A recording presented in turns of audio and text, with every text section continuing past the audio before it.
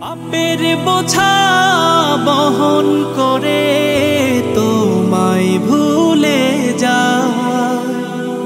সরল পথে আমায় রেখো মিনতি জানা। ও রহিম তুমি, ও গফুর তুমি, ও রহিম তুমি, ও গফুর তুমি। তোমার নামের গুণে আমায় তুমি ক্ষমা করে দাও ক্ষমা করে